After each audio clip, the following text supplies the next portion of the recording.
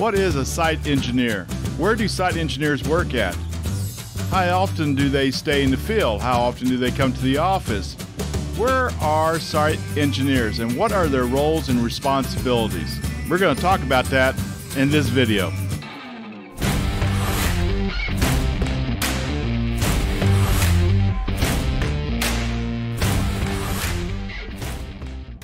Site engineers are usually the engineers on a construction site.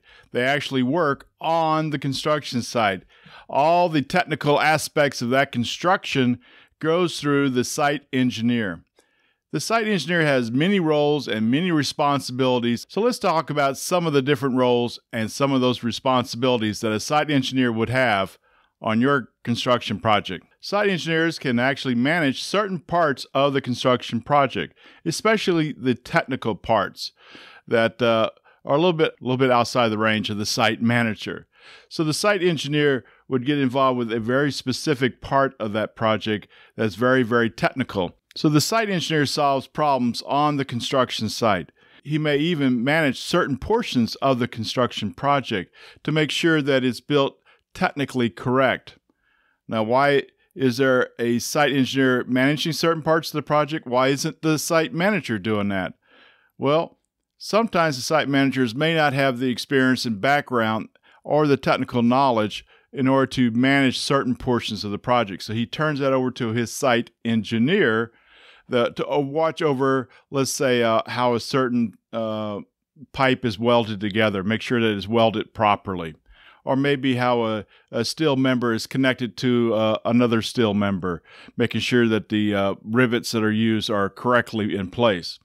Uh, different technical issues like that, whereas the manager may not have the technical background to actually verify or may not have the time necessary to uh, oversee that those uh, technical things are taken care of properly. Sometimes the site engineers actually will oversee the entire construction project, especially if it's a project that is smaller and, and your project manager can be used on another different type of project. So they will use the site engineer to oversee a smaller project from start to finish. The site engineer can also be involved in uh, overseeing the surveying that's done on the site, making sure that uh, they're surveying correctly, that they're putting down the points correctly, the stakes are going in the right place, and what's being labeled on the stakes is done to where the construction crews can read those stakes and understand whether they're doing cuts or fills or whether the points are offset 10 feet, 5 feet from the stake.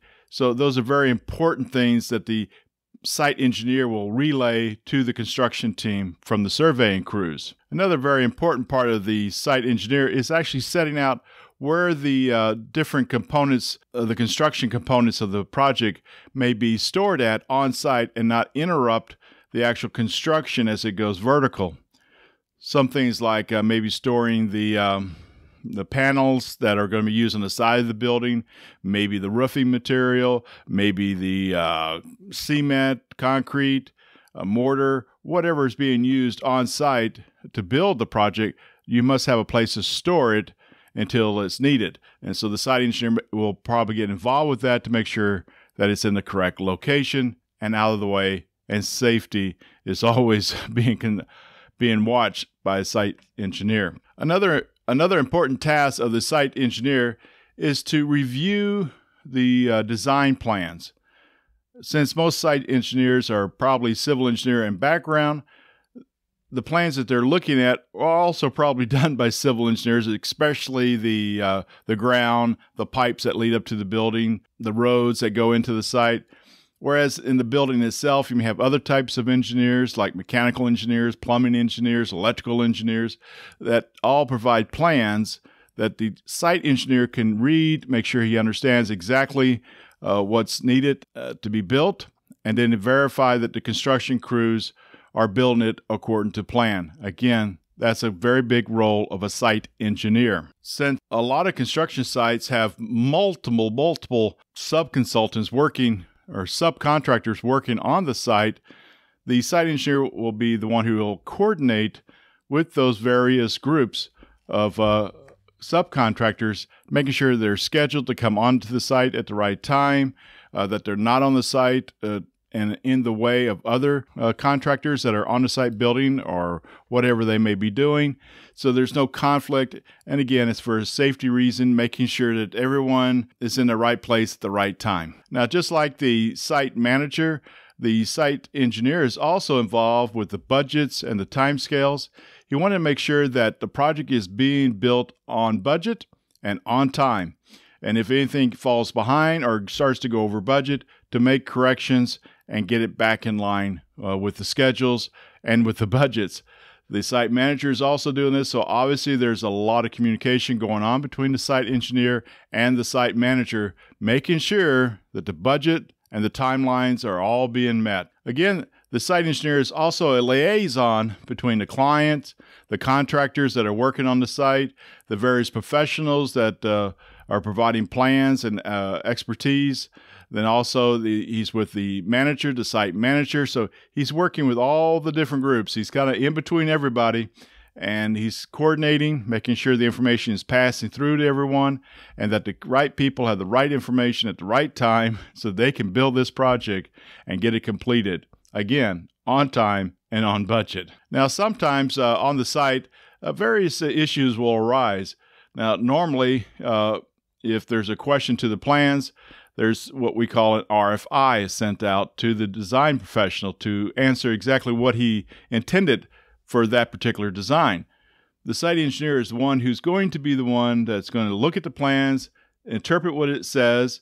He may, if he's not clear on what it says, then he's going to write the RFI and have it sent out to that professional uh, engineer or designer or whomever did the the plans and to get an answer to his question. Once he has the answer, then he passes it back on to the appropriate people, and so then the project is continues to go forward. Now, just like any other project, the site engineer has paperwork to do. So this paperwork is actually a daily progress report that they normally will fill out, saying what has been completed today and then what's being prepared for the next day. Each day, this is going into their folders and showing the progress of the of the project. Later, when these contractors come in with their invoices and they say they've completed 20% of their work or 30% or whatever the number is, he can go into his books, his notes, and verify that they're actually that far along along the schedule and that that he can then authorize the payment of those invoices. If he doesn't think that they're that far along, then he can make adjustments to those invoices and says, no, you're not 30%, you're only at 20%, so therefore we'll pay you the 20% now. Once you reach the 30%, then we'll pay the additional amount. So that's what the site engineer does. He's going to keep track of how far he's going along and his project schedule. The site engineer will also uh, be involved with the ordering of various construction materials and quantities of those materials. He's going to check on his plans, say, okay, I'm going to need so much steel, I'm going to need so much lumber, I'm going to need so much uh, concrete, all these different quantities that he needs, maybe asphalt, whatever the quantity is. And then he then passes that on over to contracting, where they then will then order it and get it onto the site at the time that he needs it. So that's another responsibility of the site engineer. I know you've gotten value out of this video, so please go down right down below there and go ahead and hit subscribe to our channel. Also, make sure you go a little bit further over there and hit that bell so you'll be notified every time we bring up a new video. Also, we'd like for you to hit that like button to let us know that you like what we've been producing in our videos and you want to see more of them. The site engineer is also responsible for the health and safety of everyone on the job site. So he's always going to be uh, watching out to make sure people are wearing their vests, uh, their safety equipment, their harnesses, uh, their safety helmets, uh, work gloves, whatever uh, that's needed to, to, on the job site that OSHA may require to here in the United States. Uh, he's also going to be watching out for the safety, making sure that people are not doing kind of foolish things, maybe um, getting backhoes too close to trenches, or maybe um, having people in trenches and not having the proper warnings to make sure that they don't lower a bucket from the backhoe into a trench when there's people in there.